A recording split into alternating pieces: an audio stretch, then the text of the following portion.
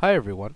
Today I'd like to discuss a little bit more what exactly DC to AC power inverters are and the different applications they can be used for.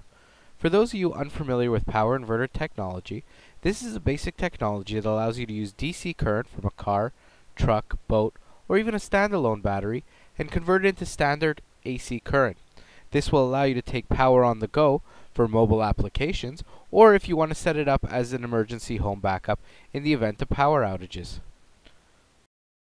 DC to AC power inverters are available in a large array of different sizes, from small 100 watt power systems all the way to 6000 watt 50 amp home backups. With these different systems, you can run several different types of devices. Today we'll be focusing more on the 2000 watt DC to AC power inverter and the different things it's able to run. With 2000 watts of power, you'll be able to set up an excellent medium range size home backup. With 2000 watts of power, you'll be able to run such devices as laptops, DVD players, televisions, fans, fridges, lights, some small power tools, some small appliances, and even a half horsepower sub pump. With 2000 watts of power, or 16.7 amps, you'll be able to run a large array of different types of devices.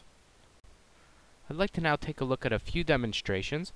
We're going to demonstrate first a 15 amp kettle, which contains a heating element, which the 2000 watt inverter can run with ease. We'll then take a look at a 12 amp vacuum and a 7 amp power drill. Here we have the kettle connected to the inverter, and it's able to turn on with no issues. We'll now take a look at the inverter connected with a 12 amp home vacuum.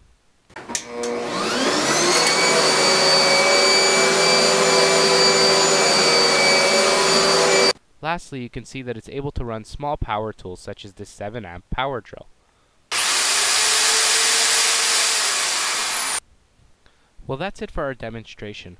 Hopefully now you have a little bit better understanding what a DC to AC power inverter can do and some of the different applications it can be used for. If you have any more questions about DC to AC power inverters, feel free to contact us at royalpower.com.